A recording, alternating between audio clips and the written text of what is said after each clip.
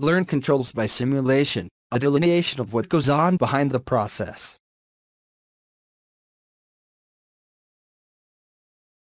Welcome back to the course. If you missed the first two sections, check it out at turbolab.teachable.com, or message me at LinkedIn.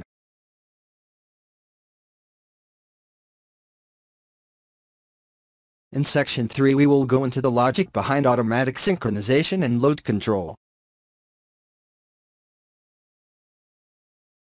Then in section 4, we will go into temperature control with IGV bias.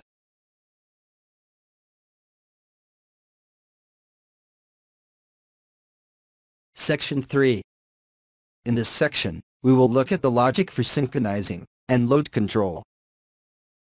The unit is at full speed no load, ready for synchronization.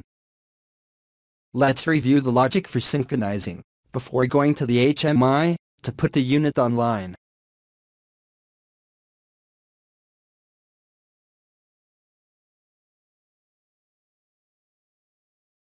Synchronization. This is the logic behind automatic synchronization. Operator selects auto synchronization. L25P is set to true.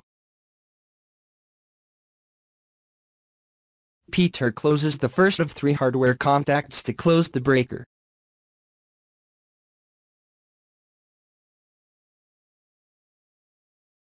PTUR, turbine primary protection provides the first layer of checks for synchronization.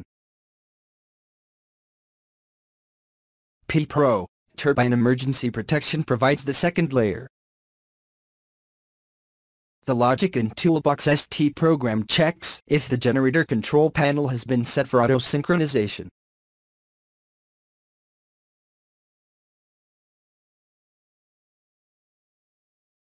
P-Pro synchronization window checking is enabled. The logic checks if the generator and bus frequency and voltage are within limits. PTUR starts to check if they are within the window to close the breaker. PTUR closes the second contact to close the generator breaker. And P-Pro closes the third contact. Then 125 volts DC is available to energize the closing coil to close the generator circuit breaker. And the turbine is online. Let's switch to the HMI, to, to put the unit online.